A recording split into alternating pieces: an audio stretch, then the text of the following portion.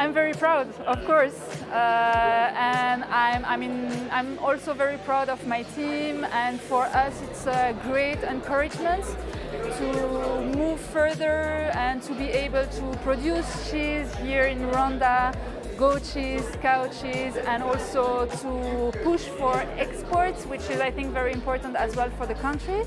I'm super, super excited, very happy. Um, I can say I'm speechless. uyu mugoroba ndishimye cyane cyane ariko ku buryo mutabyumva. Mbese sinzi ukuntu nabi- nabivuga.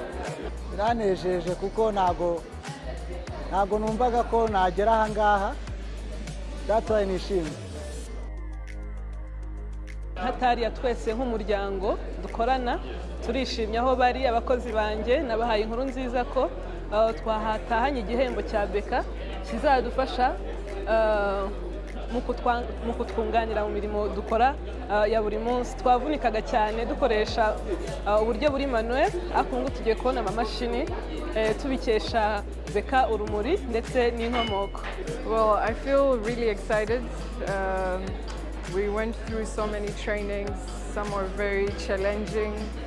So, um, I mean, out of all the people that applied for this, I made it through the final step, and I'm so grateful. Um, I'm excited, and I hope uh, in three years from now, uh, I have something to show for it. I'm going to buy the machine and then work at the backyard of the factory and then buy the maize and then start the business well.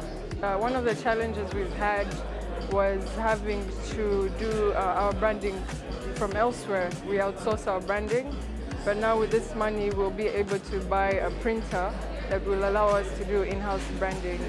amafaranga azakoreshwa mu buryo bwinshi butandukanye harimo kongera umubare w'abahugurwa kuko twe dutanga amahugurwa ku babyaza igihingwa cy'umugano umusaruro bo tuzaguramo materiyeri zidufasha mu mikorere yacu ya buri munsi ndavuga amamashini aya mafaranga azamfasha byinshi.